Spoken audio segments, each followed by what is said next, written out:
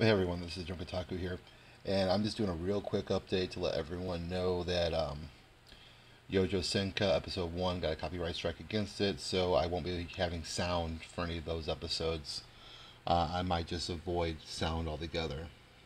So, we will see. Uh, so I'll be listening with headphones. I'm not really used to doing that, but you know, I'll do my own thing as far as that crap goes.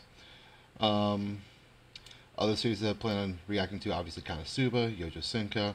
Uh, planning on doing Scum's Wish. And, uh, you know, Miss Kobayashi's Dragon Maid looks pretty entertaining, so I might start reacting to that one. So we'll see on that one. Also plan on reacting to Parasyte, because I have not yet seen that. So, uh, you know, I might also react to what people consider the worst anime of the season. You know, like Handshakers or something. I'm not sure yet. So, uh, you know, if you want me to react to something, you know, leave any suggestions in the, you know, comments below. All right, have a good one.